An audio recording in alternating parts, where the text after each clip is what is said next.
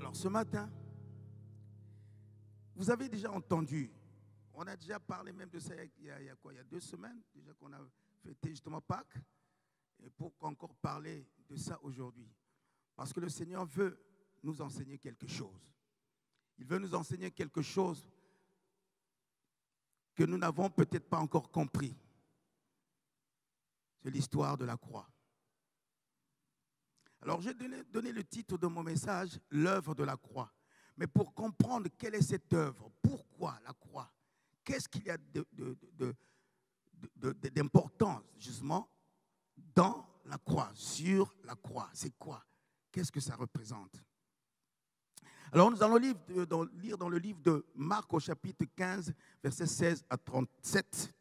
Marc chapitre 15, versets 16 à 37. Alléluia. Ça va être un peu long, mais nous allons quand même le lire pour bien comprendre mot à mot, phrase par phrase, ce que ça représente pour toi et moi aujourd'hui. Je lis dans le nom du Seigneur. Marc 15, chapitre 16, chapitre 15, versets 16 à 37. Les soldats emmenèrent Jésus dans la cour intérieure du palais et firent venir toute la cohorte. Alors, ils le revêtirent d'un manteau de couleur pourprée. Lui posèrent une couronne tressée de rameaux épineux puis ils le saluèrent en disant, Salut, roi des Juifs. Ils le frappaient à la tête avec un roseau et crachaient sur lui, s'agenouillaient et se euh, prosternaient devant lui.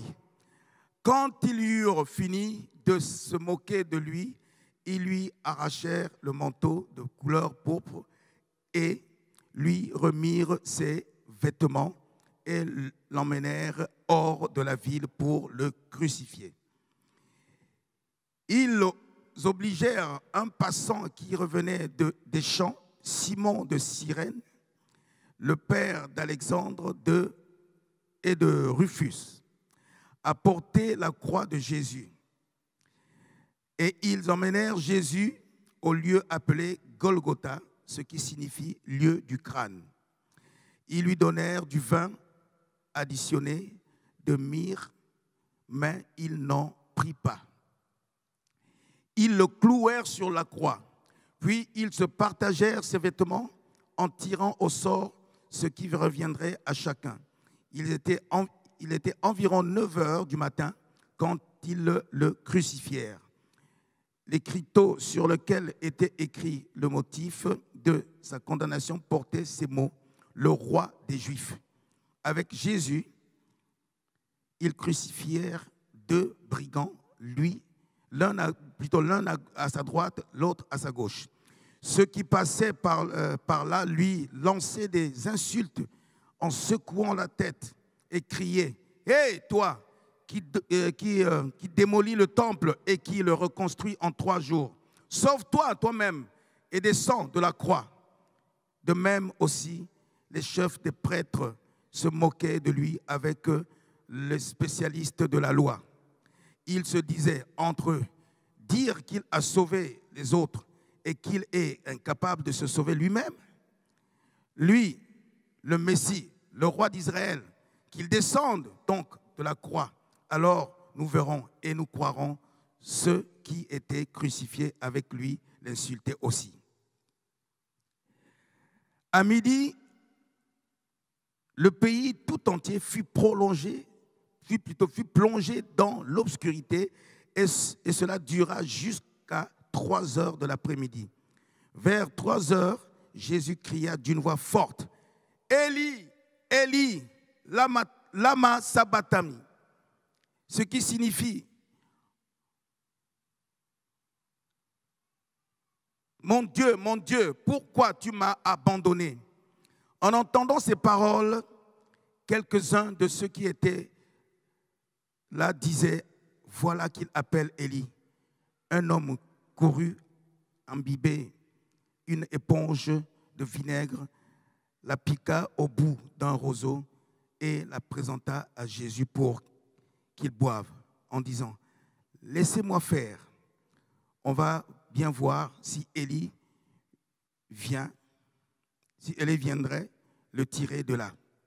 Mais Jésus poussa un grand cri et expira. La parole de Dieu. Cette histoire, c'est vrai que dans, dans les, les, évangiles, on voit que chaque, chaque apôtre ou bien chaque disciple a retracé l'histoire de la crucifixion d'une façon, peut-être qu'ils ont vu, mais il y a un qui avait retracé cette histoire d'une façon plus précise, c'est dans le livre de Luc, que je n'ai pas pris pour lire. Certaines phrases que nous allons lire sont là-dedans, nous allons voir. Mais ce qui nous montre que la première des choses que nous allons comprendre, que Jésus existait avant même que le monde n'existe. Il a existé avant que le monde existe.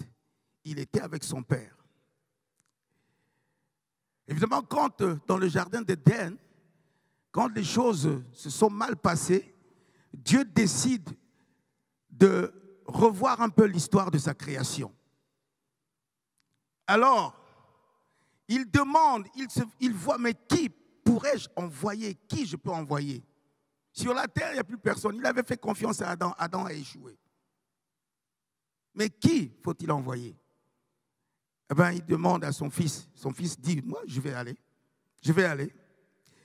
Donc Jésus reçoit, il reçoit de son Père le mandat de venir sur la terre pour accomplir une mission périlleuse, comme, euh, périlleuse, comme on l'entend en ce moment, pour sortir. Il faut que tu aies une raison valable, une raison vraiment périlleuse pour que tu puisses sortir dans ce moment, temps de confinement. Mais là, pour le Seigneur, c'était ce temps difficile. Donc il vient pour accomplir une mission, sauver l'humanité. Pas sauver quelques personnes, pas sauver euh, Marcel Bungu seulement, mais sauver l'humanité, c'est-à-dire la terre entière. Voilà la mission que son père lui donne. Va sur la terre pour sauver l'humanité. Mais quelle humanité? Quelle humanité? La double mission du Seigneur était donc premièrement d'abord de persuader le peuple de croire en lui. Il fallait qu'il croient en lui, qu'il est vraiment venu pour les sauver. Ce qui avait justement provoqué pas mal de doutes, pas mal de, critiques ou bien des, euh, qu'il recevait euh, par des, religieux de, l'époque. Quand il parlait, qu'il disait qu'il était venu de Dieu, qu'il est le Fils de Dieu. Personne ne pouvait croire ça, qu'il est venu de Dieu? Dieu a-t-il un fils, comme disent les autres? Donc la double mission, c'était vraiment d'abord de persuader le monde de croire en lui et qu'il est le seul chemin du salut. Pour leur dire qu'il est le seul chemin du salut. C'est pour cela, mes bien-aimés, je, parle de ça aujourd'hui encore parce que beaucoup, quand je vois justement l'attitude de beaucoup de nous-mêmes, beaucoup de chrétiens que nous sommes, nous ne savons pas vraiment, nous ne savons pas l'histoire de notre, euh, euh, Créateur. Nous ne savons pas l'histoire de Christ, vraiment, notre Dieu. Et cela, c'est dans le livre de Jean au chapitre 14, verset 6 qui dit, je suis le seul chemin, je suis le chemin, la vérité, la vie. Et nul ne peut aller au Père que par moi, dit le Seigneur. Nul ne peut aller au Père que par lui. Ça, c'était déjà quelque chose où les gens de l'époque, justement les, les, les, pharisiens, tout cela disaient, mais qui est-il celui-là pour se prétendre être celui qui vient sauver l'humanité? Qui est-il? Pour venir prétendre dire qu'il est le Fils de Dieu, qu'il est l'envoyé de Dieu.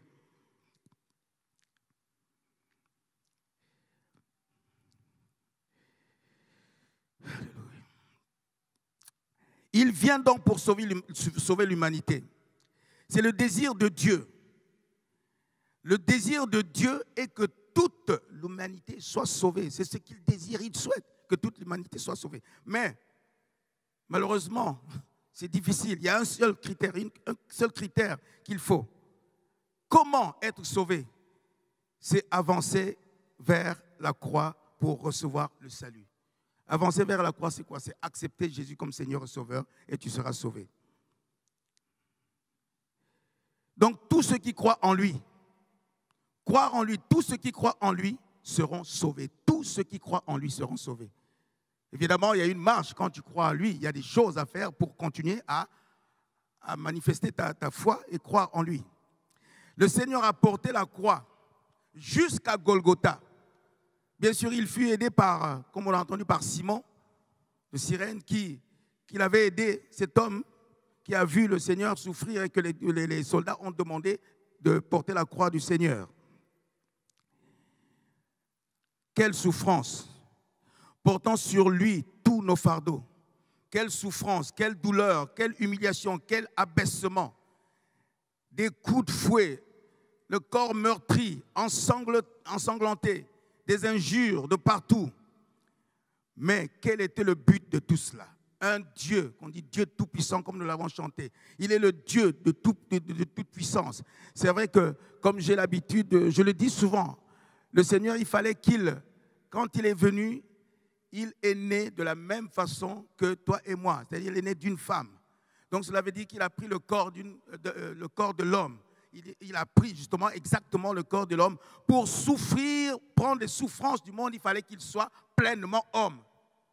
Même je dis qu'avant même, évidemment, la parole dit qu'il était pleinement homme et pleinement Dieu. Mais avant de devenir pleinement Dieu, il fallait qu'il soit d'abord pleinement homme pour vaincre justement tout toutes les attitudes de tout ce que, euh, tout ce que l'homme, euh, comme l'homme avait péché, donc le corps était devenu un corps de pécheur. Donc il fallait qu'il prenne le corps du pécheur pleinement homme pour combattre justement ce corps. Donc il fallait qu'il soit d'abord pleinement homme. Donc il a pris le corps de l'homme pour devenir comme toi et moi. Et quel est le but de tout cela? Le but c'est quoi? C'est pour nous racheter de la mort. Le but, c'est nous racheter de la mort. Le but, c'est nous délivrer, nous guérir. Car la parole dit que par ces meurtrissures, nous avons été guéris, dit sa parole. Notre salut nous, a, nous au Père, car nous sommes ses frères et sœurs. C'était le but, c'est celui-là, c'est nous ramener au Père parce que nous étions coupés du Père quand Adam et Ève avaient péché. Coupés du Père, nous étions. Donc il nous a ramenés au Père par sa mort et sa résurrection. Voilà le but. C'est sauver, te sauver toi et moi. La victoire de la croix, c'est notre victoire. La victoire de la croix, c'est ta victoire, c'est ma victoire, c'est notre victoire, c'est la victoire de l'Église. Car elle dit, même dans son agonie, et ce moment quand il est arrivé, il dit, Père, tout est accompli. Tout est accompli. C'est ce mot-clé, cette phrase. Est accompli, c'est-à-dire pas à moitié, mais tout est accompli. Sa mission est accomplie. Ce qu'on appelle, par exemple, il y a, un, feuilleton que je mets, souvent, je, voulais, je mets souvent regarder, c'est Mission Impossible. Donc tu vas, tu fais ta mission, c'est ton problème. Si tu rates ta mission, ni vu ni connu.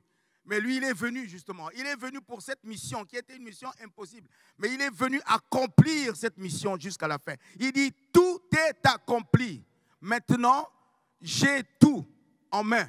Dieu lui donne tout en main. Il lui donne les clés de la mort. La mort a été anéantie, la mort a été engloutie. Plus de pouvoir de la mort sur toi et moi. Et c'est ce qu'on remarque justement je parlais justement, de, parce que j'ai dit euh, la croix, l'histoire de la croix. On remarquera, le premier qui reçut justement ce salut, le premier, un des pécheurs qui reçut le salut à la croix, c'est le brigand. Le brigand. C'est là la croix, c'est cette croix. Il y avait deux brigands, justement, comme la parole nous dit. Et l'autre brigand qui a vu, il, disait à, Jésus, oui, eh ben, écoute, sauve-toi, toi, toi qui as fait des miracles, sauve-toi et sauve-nous maintenant aussi. Et l'autre dit, oh, toi, toi et moi, nous savons ce que nous avons fait. Nous sommes des brigands, mais lui, qu'est-ce qu'il a fait? Il a parlé de l'amour. Et c'est ça qui a valu qu'il soit cloué ici. Lui ne méritait pas ça, mais toi et moi, nous méritons cela. Mais lui, qu'est-ce pourquoi il mérite cela?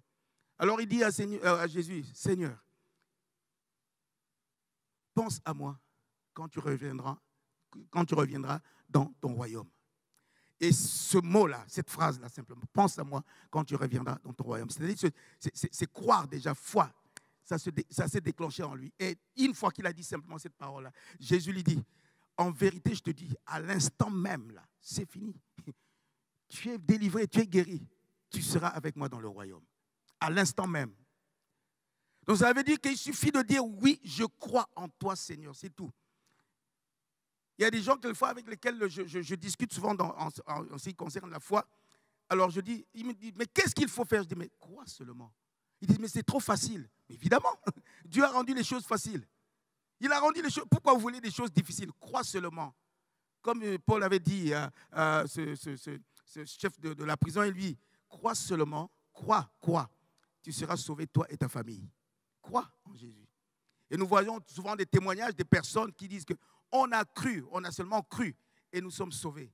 Moi, je me souviens que ma famille, dans ma famille, on était, euh, bon, il y en a qui sont maintenant auprès du Seigneur, neuf que nous étions. Et j'étais le seul, le seul, le seul, le seul, avec mes parents qui croyaient. J'allais à l'église avec eux.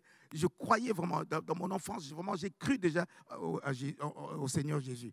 Cela veut dire que quand j'ai donné ma vie au Seigneur, c'était vraiment l'accomplissement de, ce qu'il avait déjà au-dedans de moi. J'étais seul. Mais je disais à mes frères et mes soeurs, je disais, vous savez, nos parents ont cru. Et la parole de Dieu dit, s'ils ont cru, et vous croirez, nous croirons nous aussi. Parce qu'eux, ils ont cru. Et aujourd'hui, où je vous parle, toute ma famille ont cru. Il y en a qui sont des pasteurs aussi. Il y en a qui sont des évangélistes. Il y en a qui sont des diacres. Tous, tous, tous. Ont cru au Seigneur. Tous croient au Seigneur. Donc c'est la parole, c'est vrai. Crois seulement, alors tu verras sa gloire. Tu seras sauvé, toi et ta famille. Ce premier pécheur qui a cru, quand je lui dis, souviens-toi quand tu seras, dans, quand tu reviendras dans ton royaume. Et c'est dans le livre, si vous voulez le lire, c'est dans le livre de Luc au chapitre 23, verset 42 à 43. Cette croix qui était, la croix, cette croix-là, la parole de Dieu dit que cette croix, quand, quand quelqu'un était crucifié sur la croix, c'était tellement ignoble, c'était, c'était pas beau, c'était des, des, brigands, des, malfaiteurs, des gens de, mauvaise vie, des gens qui faisaient des choses ignobles, des brigands, des terroristes. On les clouait sur ce bois. Mais cette croix, aujourd'hui, pour toi et moi, cette croix qui était une croix ignoble, une croix de la honte, une croix de l'opprobre, une croix de l'humiliation et de la mort, est devenue la croix de la vie. Elle est devenue la croix de la vie. Il n'y a plus personne sur la croix. Et cette croix, elle n'est même plus là. Il je ne sais pas pour ceux qui ont été déjà en, Israël, s'il y, a toujours une croix, il n'y a plus de croix, ou bien il y a toujours des croix qui sont placées là, je ne, je ne me souviens pas, je n'avais pas fait attention à ça. Mais la croix, il n'y en a plus. Plus personne n'est sur cette croix, parce que celui qui portait cette croix a porté toute l'humanité, et la croix est devenue la croix de la vie, la croix de la victoire. J'étais en train, quand j'étais en train de réfléchir sur ce message, j'ai un peu représenté la croix, la croix comme cet arbre de vie dans le jardin. Voilà, cet arbre de vie dans le jardin où, où il y avait deux, deux arbres. Il y avait l'arbre de la vie, et puis il y avait l'arbre de la connaissance de la vie et de la mort. Mais Jésus, quand il est venu, il, a pris cette croix et cette croix comme un arbre est devenu l'arbre de la vie. Donc le choix que tu as à faire, il y a seulement ce choix-là à faire parce qu'il est la vie. Donc, tu n'as que à regarder justement cet arbre de la vie qui est la croix de Christ pour que tu sois sauvé. Cette croix est devenue la croix de la victoire. Elle est devenue la croix de la gloire et de l'élévation. C'est sur cette croix que le nom de Jésus-Christ a été élevé au-dessus de tous les noms. Il a été élevé au-dessus de tous les noms. C'est sur cette croix que le nom de Jésus a été élevé au-dessus de tous les noms. Et tout pouvoir lui a été donné dans les cieux et sur la terre. Il n'y a aucun autre nom qui puisse sauver, qui puisse te sauver, qui puisse me sauver. Le seul nom qui sauve, le seul nom qui sauve, je le répète encore, même pour nous, vous qui m'écoutez, tant pis si cela peut encore vous faire euh, bousculer, mais le seul nom qui sauve, le seul, il n'y a pas un autre nom. Ce n'est même pas le nom de ton père, de ta mère. Ce n'est pas le nom de ton grand pasteur aussi puissant qu'il peut être. Ce n'est pas le nom d'un prophète bien d'une prophétesse peut-être qui t'a dit des choses. Ce n'est pas le nom de ta femme que tu chéris beaucoup, ni de ton homme que tu chéris beaucoup. Ce n'est pas le nom de, de tes enfants aussi peut-être tu peux les choyer, mais c'est le seul nom qui sauve, c'est le nom de Jésus. Jésus-Christ de Nazareth est le seul nom qui sauve. En ce moment, tout ce que nous vivons nous montre bien qu'il y a quelque part quelque chose qui est en train de se passer. Et ce nom que nous chérissons, le nom de Jésus-Christ, nous le verrons bientôt apparaître. Jésus-Christ qui revient pour chercher ses élus. Le chemin est désormais ouvert. Le chemin est désormais ouvert, le voile est déchiré, comme nous l'avons chanté. Le chemin est ouvert, le voile, le voile est déchiré. Et le roi de gloire a triomphé de la mort. Quelle, joie. Le roi de la gloire, le roi de gloire a triomphé de la mort. Et maintenant, ce qui se passe, c'est quoi? C'est à toi et moi, c'est à nous désormais.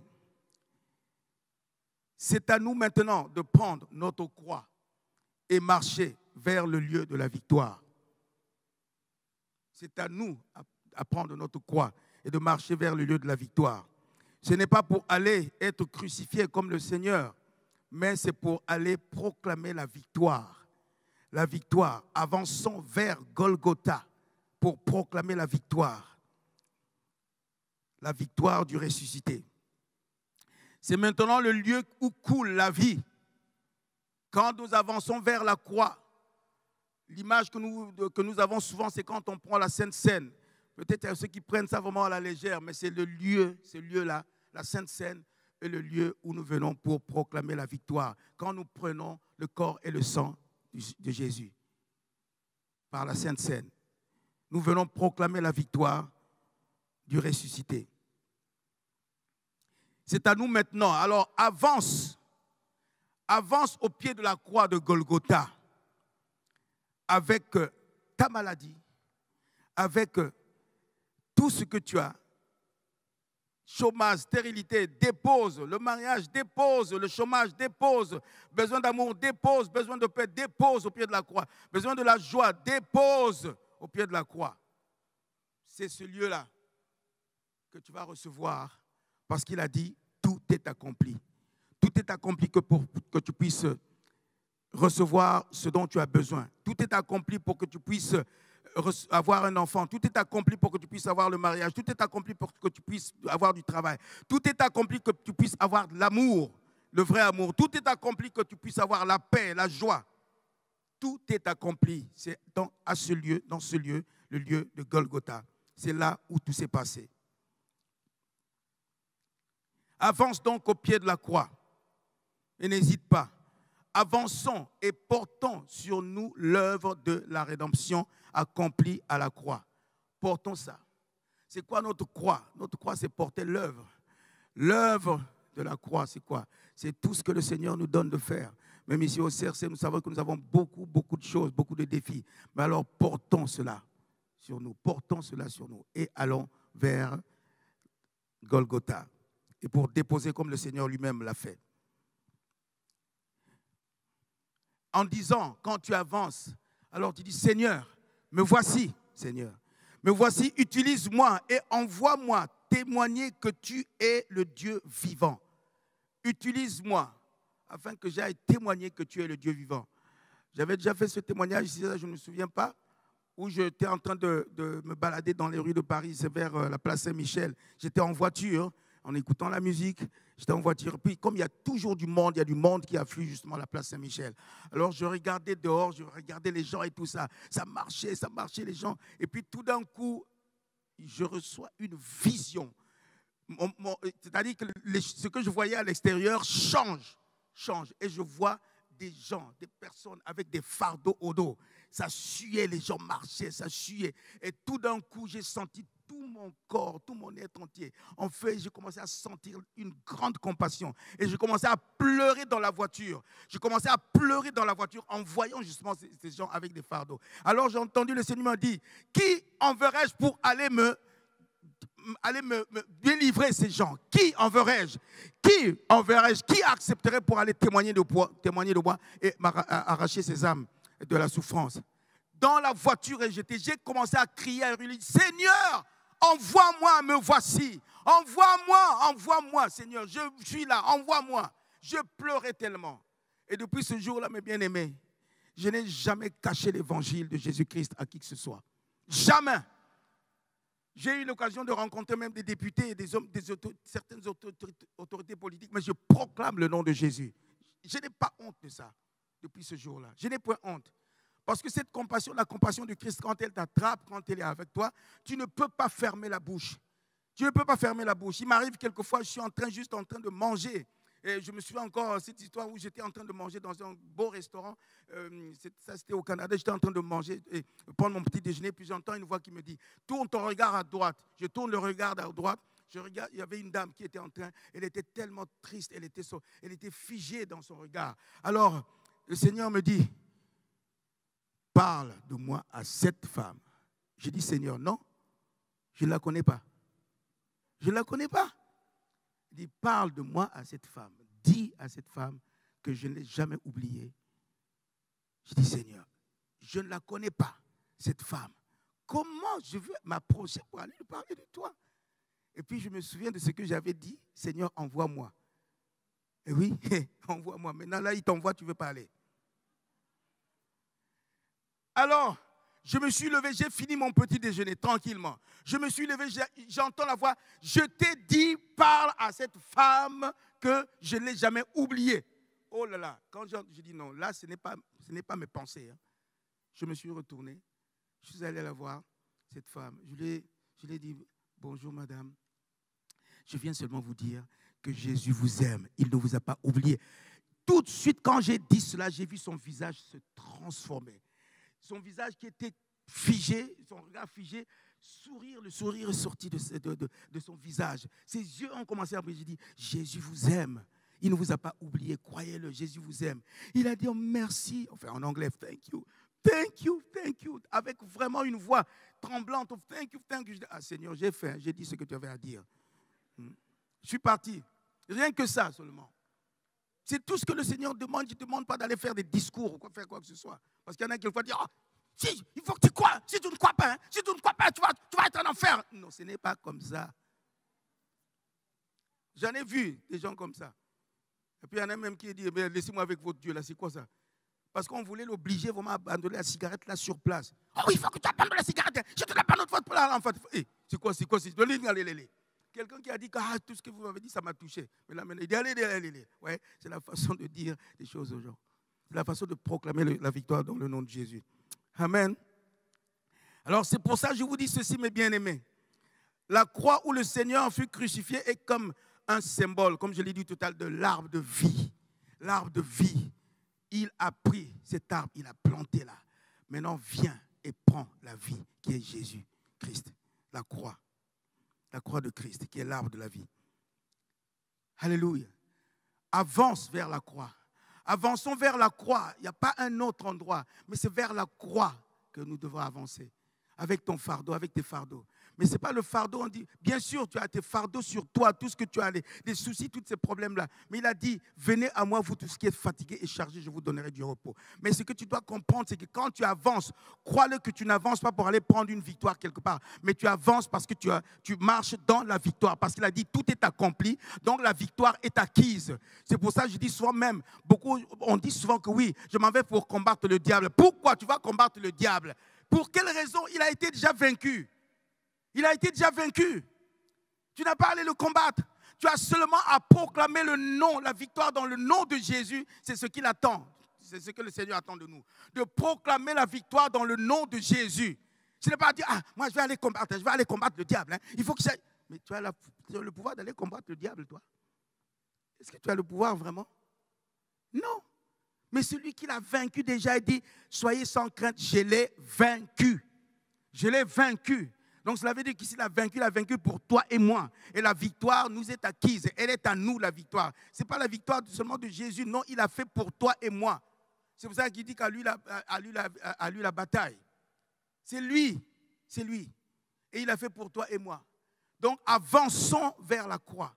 Avançons avec, faisons comme le Seigneur lui-même qui nous a montré l'exemple. Il a avancé, il a avancé, trébuchant, marchant, il tombe, il se relève, jusqu'à aller accomplir la mission pour laquelle son Père l'avait envoyé. Et c'est ce que tu dois faire, toi, chrétien d'aujourd'hui. Avance, avance avec la mission que donne, va jusqu'à accomplir la mission que le Seigneur t'a donné. Il y a beaucoup de talents et de dons qui, dorment quelquefois là, ici, au milieu de nous. Des talents et, de Dieu, des talents et des dons que Dieu a donnés. Mais qu'est-ce que vous faites avec ces talents et ces dons?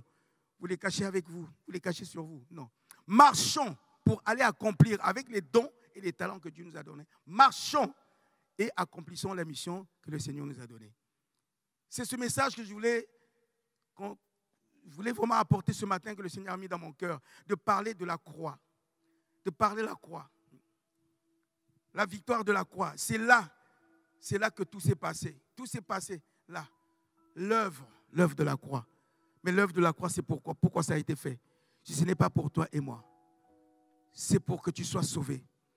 Est-ce que tu es sauvé vraiment? Est-ce que tu es sauvé? Ou bien tu te dis, parce que justement, il n'y a, pas longtemps encore, je discute pas mal avec des personnes qui se confient. Il y en a une soeur qui me dit, qui m'appelle, qui me dit, pasteur, j'en ai ras-le-bol. Même Dieu là, je ne crois plus, je ne sais pas. Parce que ce Dieu là, tout ce qu'il m'a promis, je ne vois rien. J'ai dit, mais ma soeur, même tout ce que tu dis là, ça ne changera pas la place de Dieu là où il est. Il est Dieu, il restera Dieu. Mais tout ce que tu as à faire, c'est de te, repentir même de ce que tu crois, de ce que tu penses de lui. Tu es en colère contre lui, ça va lui faire quoi? Même si tu es en colère contre lui, il restera Dieu, il ne change pas. Il restera Dieu, il ne change pas.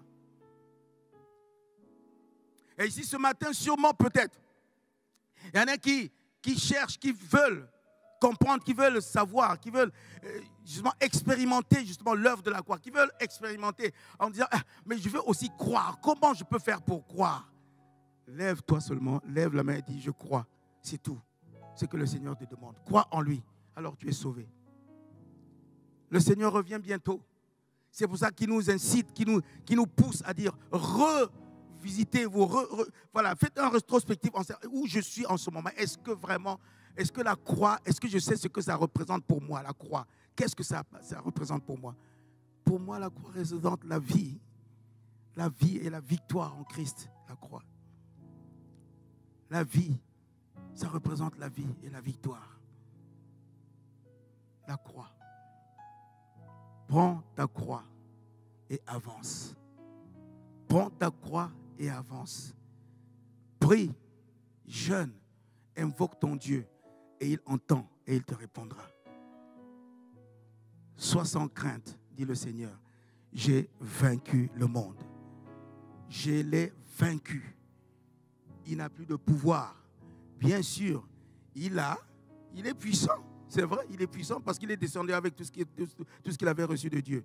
Mais sa puissance n'a plus de force. Ça n'a plus de pouvoir comme il avait avant que nous ne soyons sauvés il a vaincu la mort. Il a vaincu les démons.